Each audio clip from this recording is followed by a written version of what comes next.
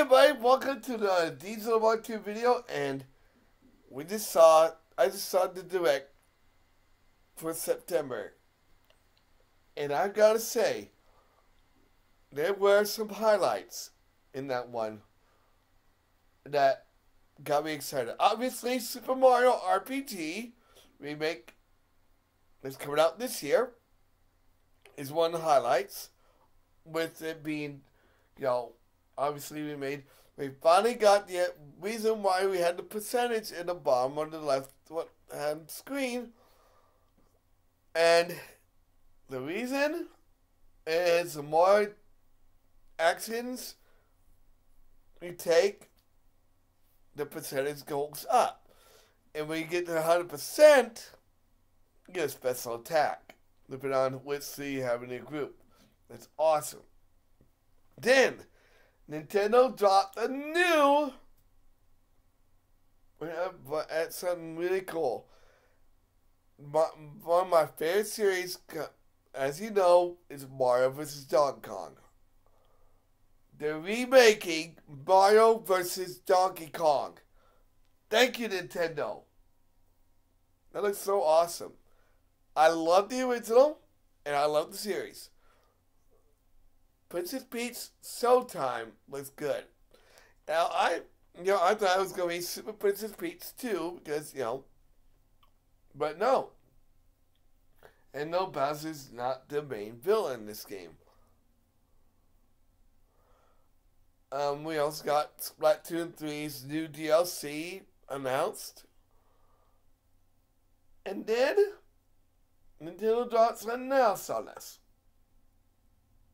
another 99 competition. This time in the form of F Zero. Now, I played F Zero. I will not say I hate it. It's hard, but playing up against 99 other player, 98 other players will be fun.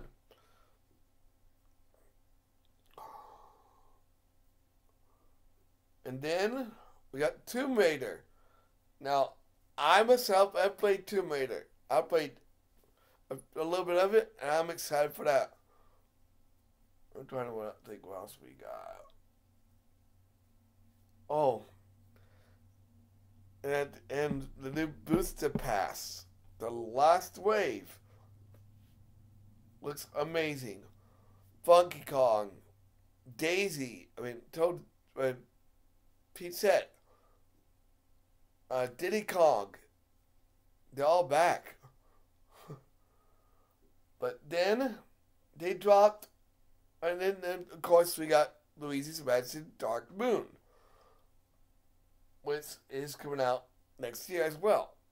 I will definitely buy that game. And then finally, we got the biggest announcement yet. So, there have been rumors going around that a certain Paper Mario game is getting remade. Everybody knows how much I like the Paper Mario series, there's one game in particular I really, really, really, really, really like. And other than Paper Mario 64 and Super Paper Mario. And that's Paper Mario Thousand Year. We got a look into the remake of Paper Mario Thousand Year. Oh, I also want to talk about that. I'll talk about it in a minute. I really like. I'm excited for that. So I also want to talk about the added post game bosses. Yes, for Super Mario RPG remake. I myself was always wondering what what would happen if Nintendo actually gave us a post game. Well, they did it. The bosses are harder, more challenging, which I think is kind of cool. So I might just try it out.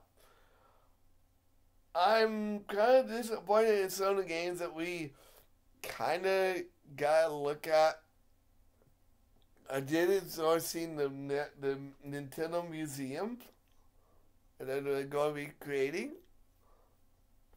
Um, I kind of was disappointed that we got no Zelda stuff. I mean, we did, we did get a new game.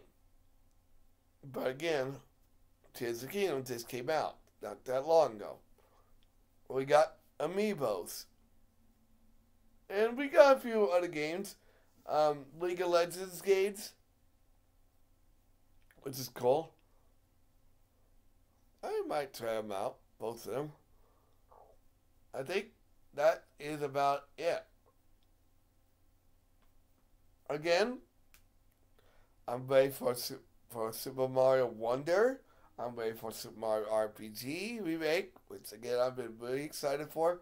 I'm ready for F-Zero 99, which I really, really, really am excited to play with other people. Oh! And Among Us! I forgot, Among Us is getting a brand new map. I forgot, completely forgot about Among Us. Called the Fug, the Fungle. It's pretty cool. I'm really excited for that. Anyway, there you go. There's my thoughts about today's um, direct. Maybe later on, I will do a tier list about how I felt about the uh, today's direct. Like, comment, subscribe, share. I'll see you guys on the next video.